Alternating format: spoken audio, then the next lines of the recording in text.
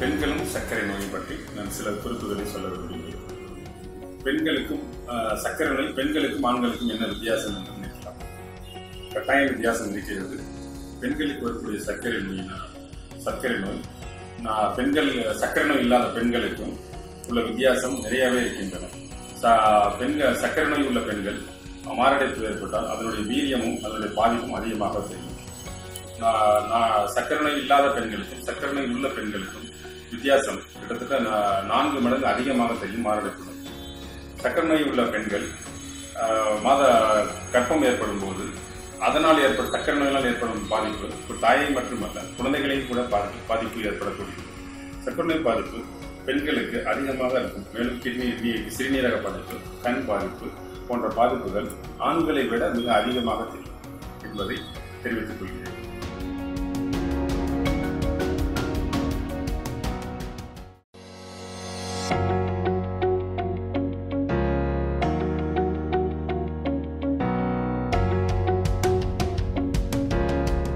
சர்க்கரை பெண்களையும் ஆண்களையும் எவ்வாறு பார்க்கின்றன இதில் ஏதேனும் வேறுபாடு இருக்கிறதா?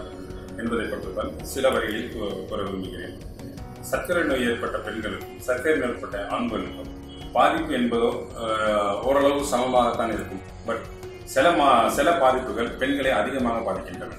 உதாரணமாக மாரடைப்பு நோய் ஏற்பட்டால் பெண்களுக்கு அதனுடைய போஸ்ட் எஃபெக்ட் என்பது அதிகமாக தென்படும். மேலும் அவர்களுக்கு கிட்னி பாதிப்பு சிறுநீரக பாதிப்பு போன்றவைகள் அதிகமாக தென்படும். மன அழுத்தம் மன அழுத்தம் ஆண்களை காட்டிலும் பெண்களுக்கு அதிகமாக இருக்கும். மன அழுத்தம் ஏற்படுவதனால் அவருடைய சக்கரை நோய் கட்டுப்பாடும் கட்டுக்கு அடங்காமல் போய்விடும். இதனால் ஏற்படக்கூடிய பாதிப்புகளும் மிக வே- வேகமாக ஏற்பட்டு பெண்களை அதிகமாக பாதிக்கக்கூடும். பெண்கள் தங்களுடைய உடல்நிலையை சரியாக பாதுகாத்துக் கொள்ள மாட்டார்கள். தங்கள் தங்களுடைய குடும்ப ப- தங்களுடைய சர்க்கரை அளவையோ தங்களுடைய மருத்துவரையோ ச- சரிவர அணுகி தக்க மருத்துவம் எடுத்துக்கொள்ள மாட்டார்கள். இதனாலேயே அவருடைய பாதிப்பு என்பது மிகவும் அதிகமாக தெரியும்.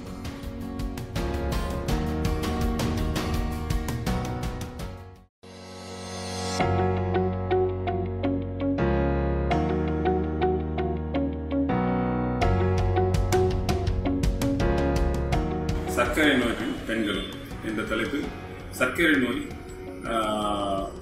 கர்ப்ப காலத்தில் ஏற்பட்டால் அதன் அதனால் ஏற்படும் விளைவுகள் என்னவாகும் என்பதை சொல்லப்படுகிறது.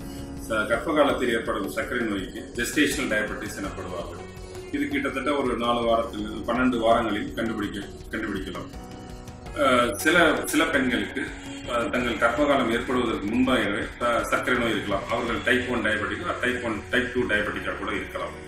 ஒருவர் தன்னுடைய பிரெக்னன்சி டிசைட் பண்ணும் முன்னர் முன்னர் அவர்கள் சர்க்கரை நோயை எவ்வாறு கட்டுக்குள் வைத்துக் கொள்வது? அதற்கு அவர்கள் தங்களுடைய மருத்துவர்களை அணுகி அதற்கு ஏற்ப ஆஹ், ஆலோசனைகளை பெற வேண்டும். அதற்கு ஏற்றவாறு மு- பெரும்பாலும் சர்க்கரை நோய் ஏற்பட்டுள்ள ஆஹ், தாய்மார்களுக்கு இன்சுலின் மருந்தே உபயோகப்படுத்தப்படும். மேலும் மருத்துவர்கள் அணுகி அணுகி அவருடைய இன்சுலின் டோசேஜை தெரிந்து கொள்ள வேண்டும். டயட்டீஷியன் ஆர் நியூட்ரிஷன் அணுகி அவர்களுக்கு ஏற்ப சாப்பாடு உணவு முறைகளை தெரிந்து கொள்ள வேண்டும். இவை அனைத்தும் மருந்து உணவு மற்றும் உடல் உழைப்பு உடல் உழைப்பு உடற்பயிற்சி ஆகிய மூன்றும் ஒரு சேர செய்தால் நிச்சயமாக தங்களுடைய குழந்தைகளுக்கு பாது பா- பாதிப்பு இல்லாமல் குழந்தை பிறக்கலாம் என்பதை கூறி- கூறுகிறேன்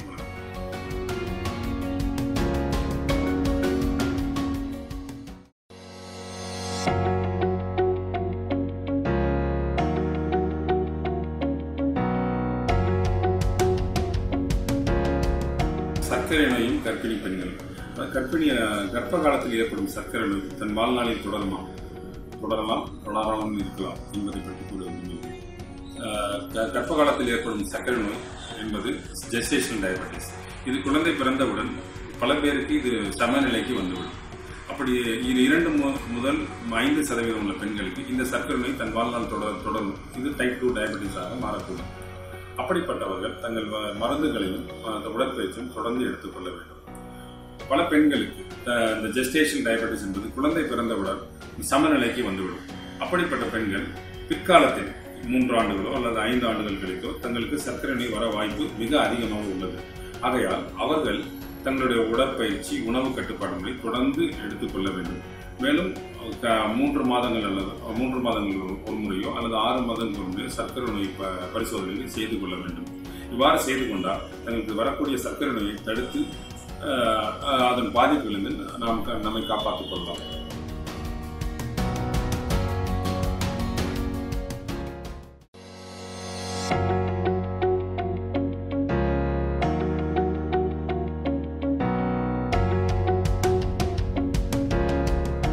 சர்க்கரை நோய் எப்படிப்பட்ட பெண்களை எல்லாம் பாதிக்கும் என்பதை பற்றி சில வரிகளில் கூற விரும்புகிறேன்.